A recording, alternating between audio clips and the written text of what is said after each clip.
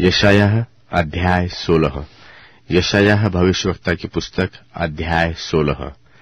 देश के हाकिम के लिए भेड़ों के बच्चों को जंगल की ओर से, सेलानगर से सियोन की बेटी के पर्वत पर भेजो और उजाड़े हुए घोंसले के पक्षी और उनके भटके हुए बच्चों के समान मोआब की बेटियाँ अरनोन के घाट पर होंगी।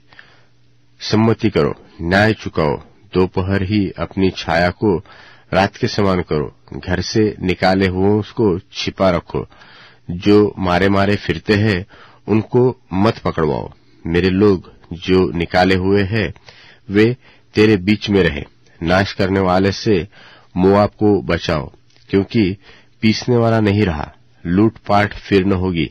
देश में से अंधेर करने वाले नाश हो गए हैं।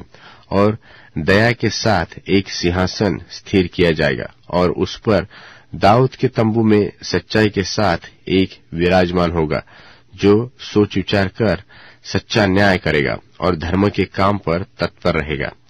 हमने मोआब के गर्व के विषय सुना है कि वह अत्यंत अभिमानी है। उसके अभिमान और गर्व और रोष के संबंध में भी सुना है, परंतु उसका बड़ा बोल व्यर्थ ठहरेगा। क्योंकि मोआब मोआब के लिए हाय हाय करेगा। सबके सब हाहाकार करेंगे। किरह राहसत की दाख की टिकियों के लिए वे अति निराश होकर लंबी लंबी सांस लिया करेंगे, क्योंकि हेशपोन के खेत और सिबमा की दाख लताएँ मुरझा गए अन्य जातियों के अधिकारियों ने उनकी उत्तम उत्तम लताओं को काट काट कर गिरा दिया है। वे याचर तक पहुँची है। वे जंगल में भी फैली गई और बढ़ते बढ़ते ताल के पार दूर तक बढ़ गई थी। मैं याजेर के साथ सिब, सिब्मा की दाखलताओं के लिए भी रोऊँगा।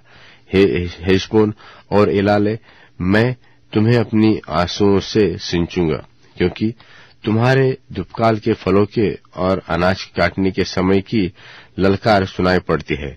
और फलदायी बारियों में से आनंद और मगनता जाती रही, और दाग की बारियों में गीत न गाया जाएगा, न हर्ष का शब्द सुनाई देगा।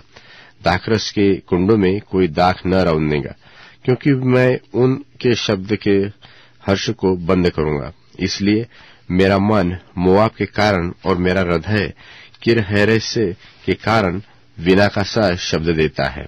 और ऐसा होगा कि जब मोआब ऊँचे स्थान पर मुँह दिखाते दिखाते थक जाए और प्रार्थना करने को अपने पवित्र स्थान में आ, आए तो उसे कुछ लाभ न होगा। यही तो वह बात है जो यहोवा ने इससे पहले मुआब के विषय में कही थी।